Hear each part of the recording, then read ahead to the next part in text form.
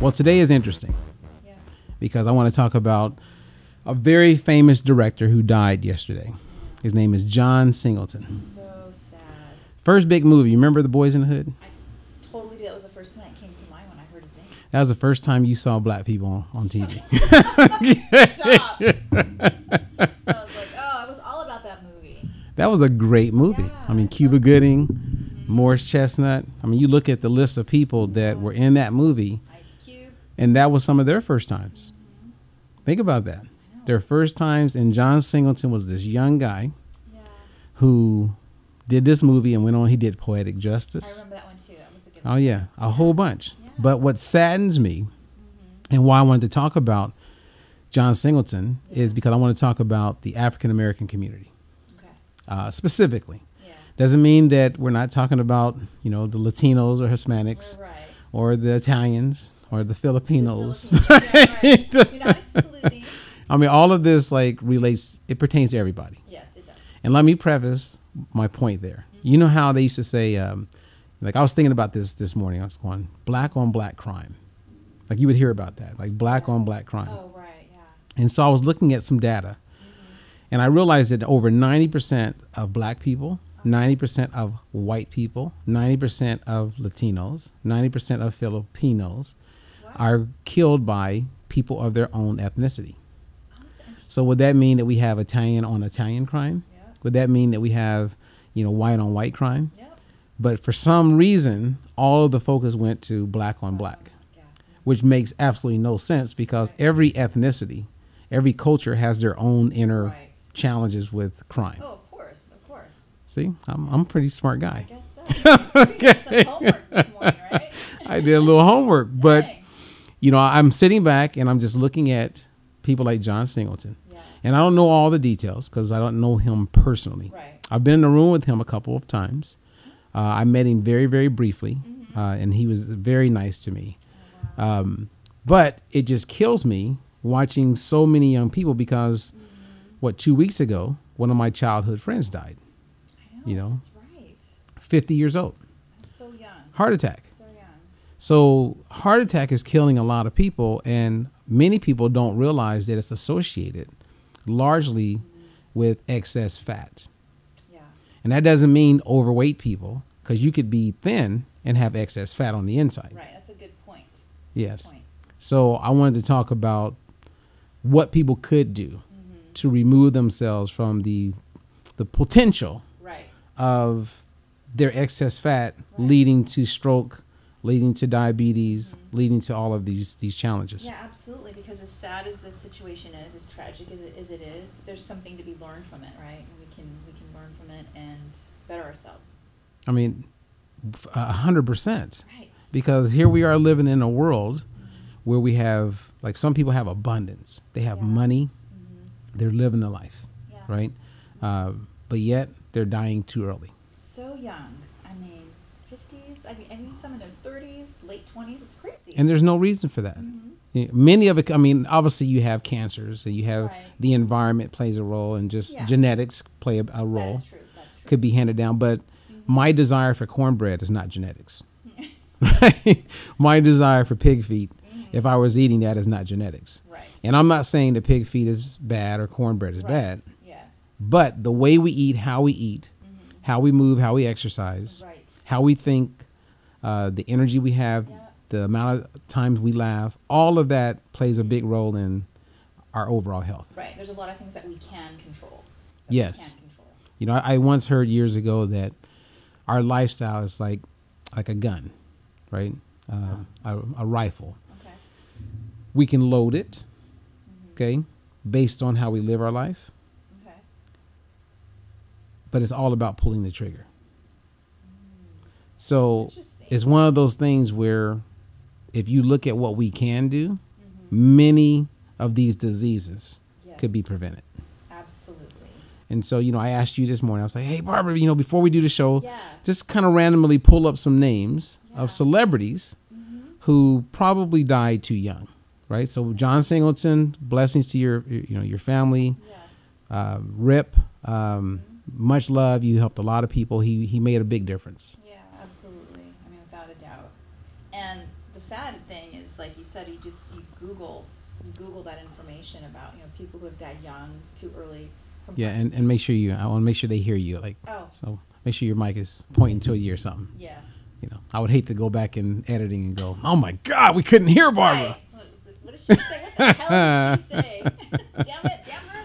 No, what I was saying is that um, is that it's so sad because you can you know just go online and Google, you know, people that have died too young, you know, from heart disease and heart attack, and there is no shortage of names. I mean, Unbelievable. yeah. Okay, so so give us one.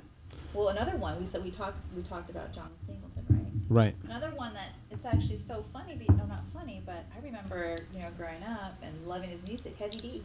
Oh, Heavy D? that's right. Yeah. Heavy D. Mm-hmm. Yeah, uh, gone way too soon. Yeah, Way too soon. he was, and he died of a heart attack as well. And there was people I know people who were very close to Heavy D, Uh-huh. and uh, you know, like I like I work with Chuck D of Public Enemy, Yeah. and good guy. Mm-hmm. And, and let me tell you, Chuck is all about taking care of himself. I mean, whether he's working out with Pilates, working out just work. Oh yeah. That's awesome. Matter of fact, he's working out right down right down the street from here. Shoot, that's Yeah. awesome. But you know, he's putting in the time. You know what I mean? The Yeah. energy to take care of himself the best he possibly can. Yep. You know, and he knew Heavy D. And a guy like Heavy D would have been a he would have been a perfect client for you or me Right. because we would have met Heavy D where he was. Mm-hmm. We could have showed him how he could still entertain. He could still eat a lot of his favorite foods. And who knows? I mean, we, we don't know 100%, but I believe we would have contributed toward Right. his quality of life. Exactly. Yeah. Um, but yeah, he was young too. Heavy D. Do you have his age? Did you, did that pop It's up? Forty-four. Does that sound right? Well, yeah, I think he was definitely in his 40s. Yeah. I mean, I'm I'm older than him now. right. So, I mean, that's what's so scary is that you know when you're when you're younger, you, you just take these things for granted. You know, then all of a sudden you start hearing about people who are in your age range or even oftentimes younger than you, and you're thinking, you know, I need to pay attention here and make sure, you know, I'm doing what I can do to, like you said, improve my my quality of life. you Right. know? I mean, but, you know, I totally get like where they are because imagine you grow up poor Yeah. or you don't have much. Mm-hmm. And next thing you know, you have a good amount of things. Yeah. and everybody wants to go out and eat. Everybody wants to go and party. sure. Everybody wants to have that extra drink. Everybody wants to be on plane. You know what I mean? So you live this life where sometimes you don't have time to exercise, True. or you believe you don't, unless you Yes. you build it into right. what you do. Right.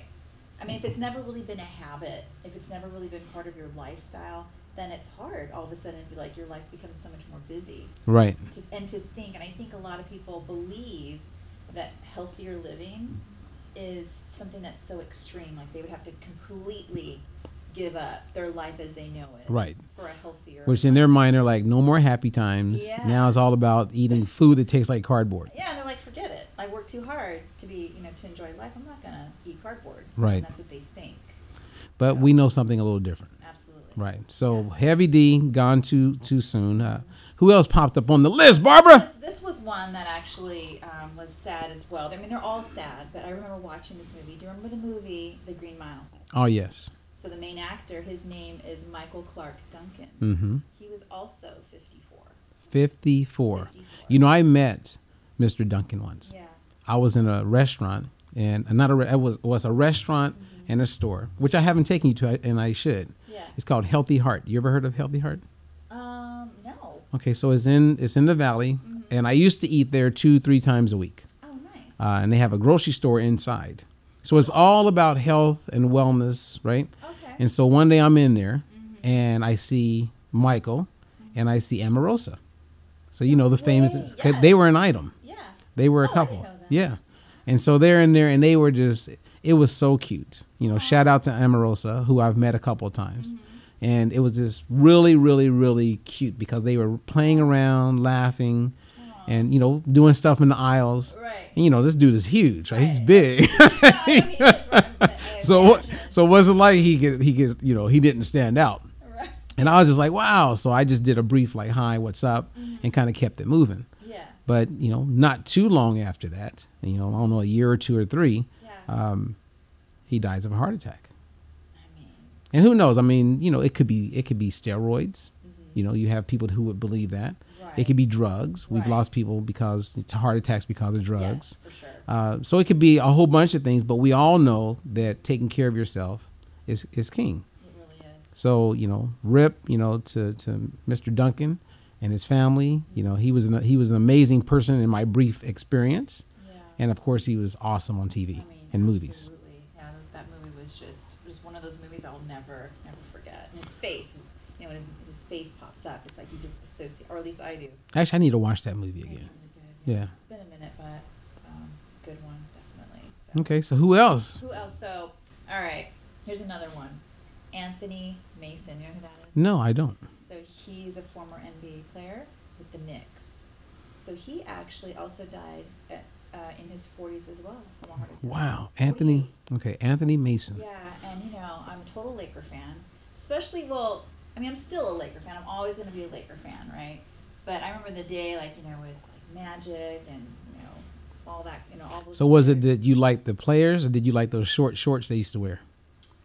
Well, I like the players. I mean, do you remember how short the I shorts mean, were? Yeah, like when I was getting into like really enjoying basketball, the short, the the length of the shorts were getting a little longer. Okay, good. But yeah, they were like, they show some of those clips when they were short like that. It's pretty funny. But like they're making their way back up into some. point. Because the guys want to show some leg. I guess. But anyway, I remember him. I mean, I wasn't a Knicks fan, but I do remember him. You know, when they play the Lakers, or just in general, Anthony Mason. So when his name popped up too, I was like, wow, him too. Wow, Yeah. too short, man. Yep.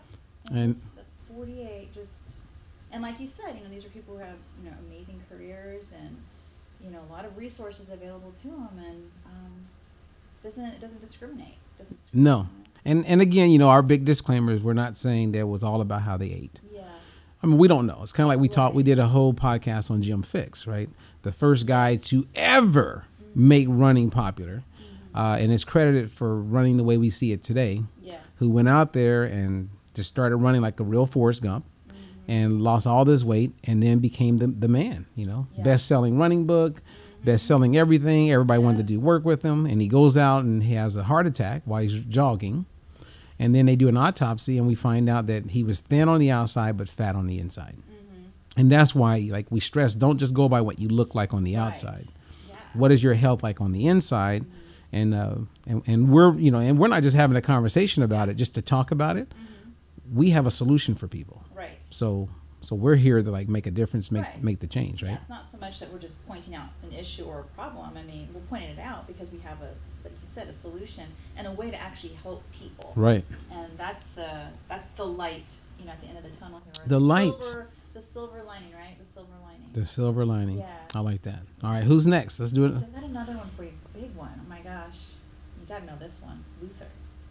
Luther Vandross. Yeah, he was 54, and um, also, well, he had a stroke actually, right? hmm And then, Which is exactly what happened to um, John Singleton. Mhm. He had a stroke. yeah, So, uh, like a lot of times, people don't realize. Let's say that you get on um, um, blood pressure medication. hmm Well, blood pressure me- uh, medication, we know that over a long period of time hmm uh, leads to stroke. Oftentimes, those people have a heart attack.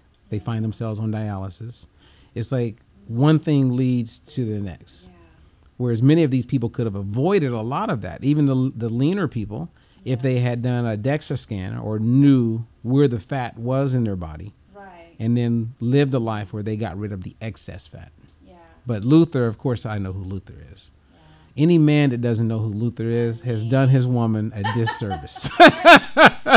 I mean, yeah. and I meet guys, they're like, "Who's Luther?" I'm like, what is wrong with you? And then I'll I'll mention other names, and they'll go, "I'm like, man, poor poor mm. woman." Poor woman. that's messed up. But it's true though. But yeah, that's a, that's another one. His voice is just one of those that you can and you never forget, right? You just can't miss that. Plus, you know, with Luther, he was known mm. for gaining weight, losing weight, gaining weight, losing weight, Yeah. which plays does a, a big like like oftentimes you'll hear someone say that's not good for you, but they don't explain why it's not good for you, yeah. Right? And we know why, and I'm not going to go into great detail, Mm-hmm. but it ends up uh, putting a person in a position where they will have excess fat, Yes. visceral excess fat around their organs, kidneys, pancreas, you name it. So, you know, Rip Luther and his family, and of uh, forever remembered and loved. Yeah, for sure. Um, And next, who's who's next? see, I've got another. I think I have one more. And actually, he actually um, did some work with John Singleton. I think it was in uh, Poetic Justice. His name is Ricky Harris. He's an actor and comedian. Oh, Ricky Harris. Yeah. He was also 54 and died of a heart attack. Ricky Harris was one of my all-time favorite, like, actor. I mean, comedians. Yeah. Yeah, Another in his 50s, 54. unbelievable. So, so young. And then actually, when I was reading up on it a little bit, and they said that he had done work in in poetic justice, hmm I was like, oh, I mean, like, talk about just like hits so so close together, you know?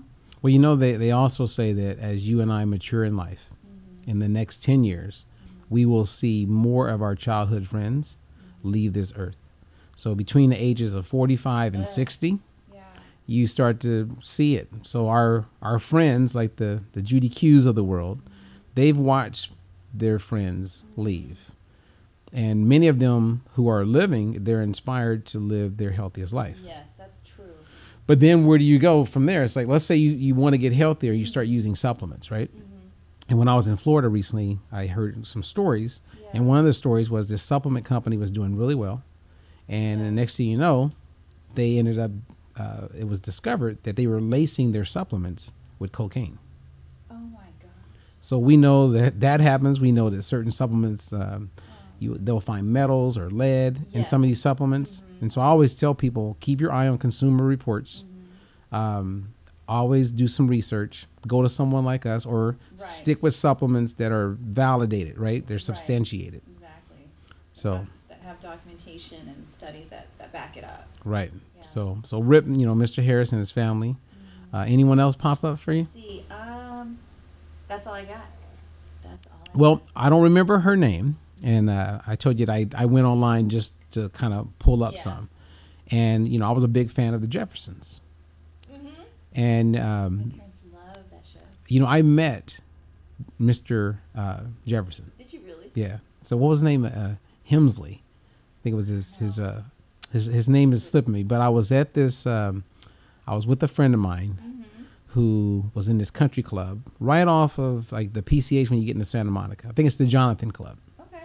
And it's sta- like if you once you know that it's a Jonathan Club, you'll Yeah. say, "Man, I pass this place all the time." Yeah.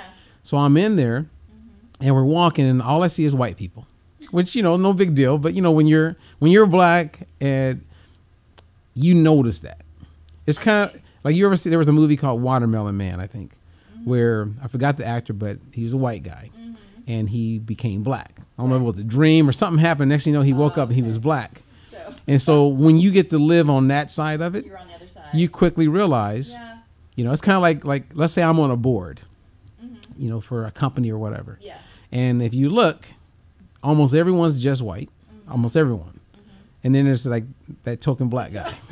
I didn't say that. I'm like, I almost finished your sentence. I wanted to say it so bad.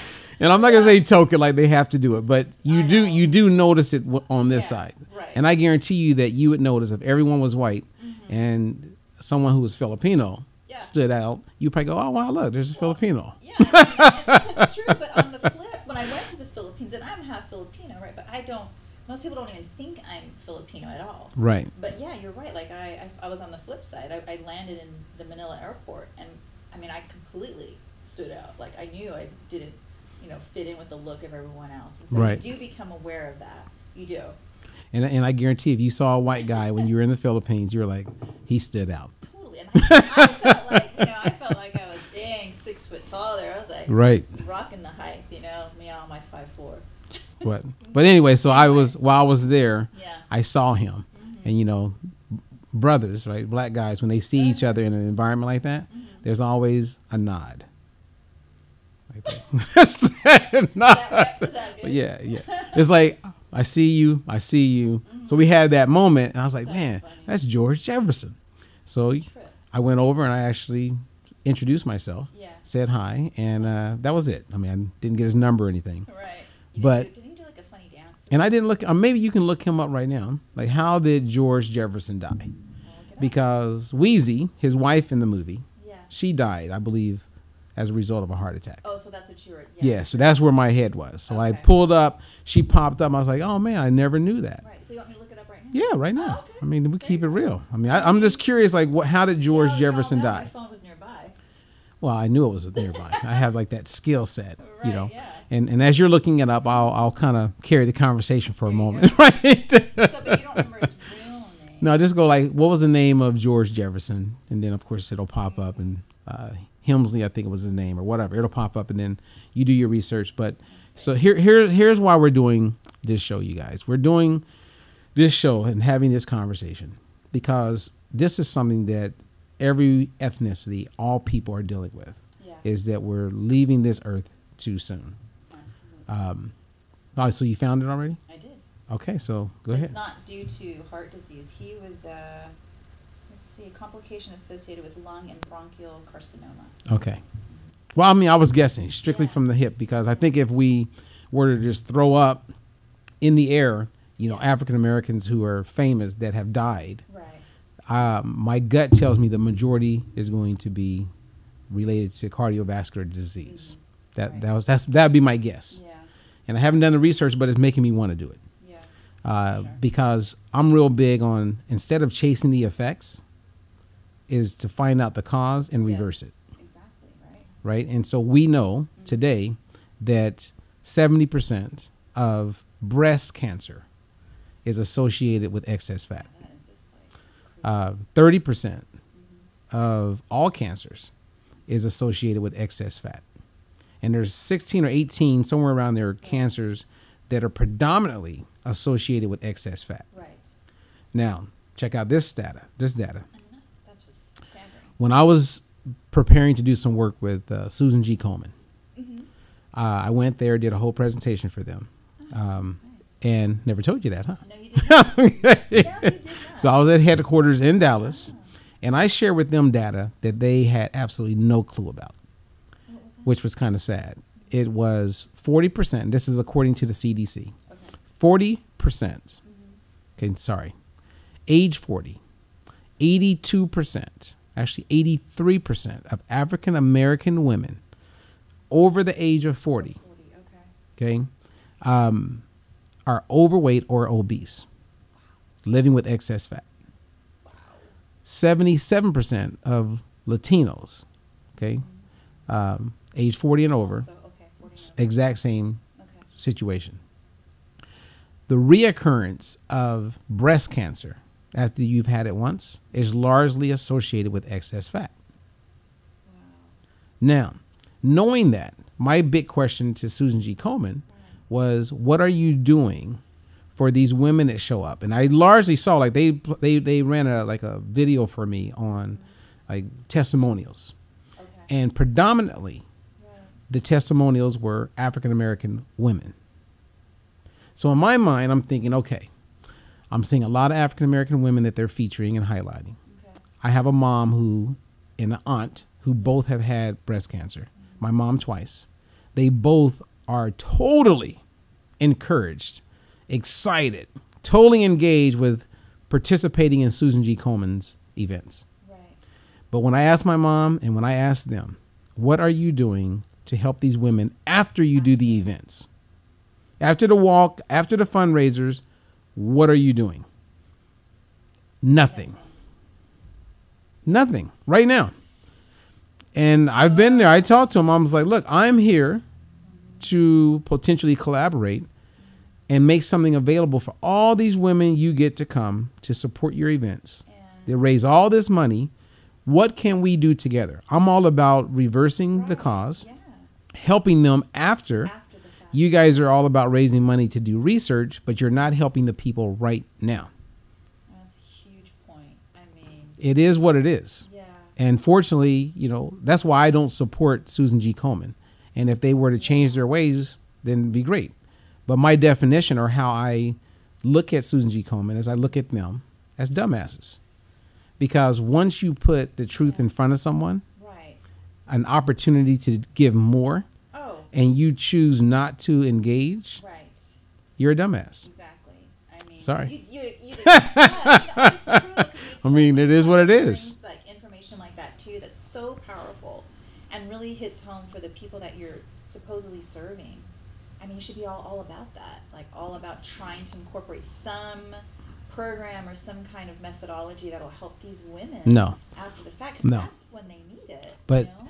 They are just one example of many who's out there talking the big talk, but they definitely are not doing the, doing the walk. that's really eye opening. You know, years ago. And they know my number. Hey, you guys know my number.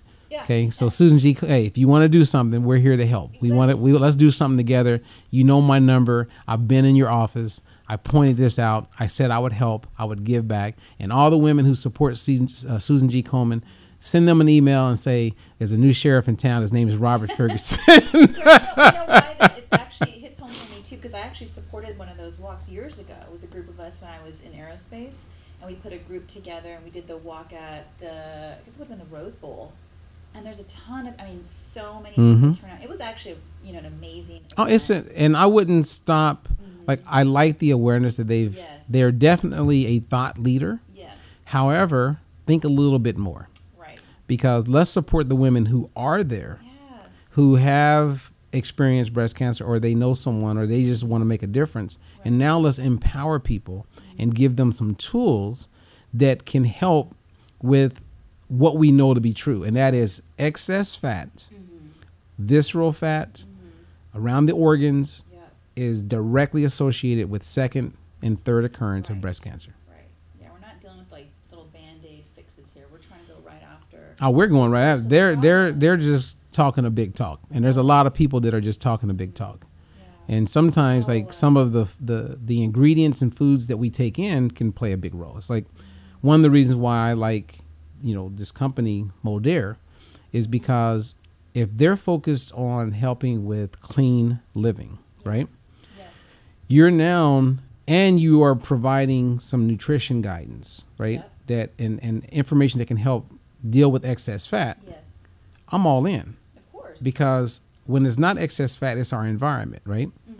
And so if there's chemicals, shampoo that has ingredients that we believe are associated or linked to Right. increased risk of cancer and other diseases, Right. and there's a way to get products that don't have those things, why why wouldn't you? That makes total sense. Right. So the fact that they're kind of a thought leader in that space Yeah.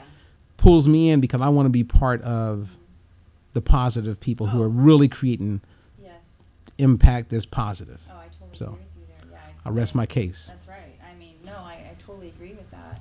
You know, actually, like in my field in aerospace, and I've told you several times about that. Is you know, not only were, was I working with employees to help protect their health and wellness, but then I also did work, you know, to protect our environment as well. It's just just as important. I mean, how we what we do, not only to protect it, but to prevent, you know, the impact, you know, on our environment, so that we can actually have a relatively clean environment for our kids and their kids and so on and so forth because there's a lot of things that just accumulate right Right. I agree. We don't know we don't know what that'll do in the long run so We don't know, but what we do know is that we know. yeah And we ain't going to stop, people. that's right yeah. So, but thank you. I, and I appreciate you taking the time to do that. That was some good information. oh yeah no it was it was uh was eye opening you know like we see these things and we hear about it all the time but we hear so much information that it just like it's it's like on for a minute and then we're on to the next and when you're reminded of it like the gravity of it how real it is and you know how close it is you know it really hits, hits home Well, thank you, Barbara. Appreciate it. All right, you guys. Hey, don't forget to like, don't forget to subscribe, and hit that bell. So whenever we upload a video on YouTube, you get notified. And if you're watching this somewhere other than YouTube, then look at the uh, links and information provided so that you can connect with us and follow Barbara. She's always looking to get more people to follow her and like her her pictures. and follow me too. I guess I need to start building Yeah, that. Anyway, right? Yeah. until the next one.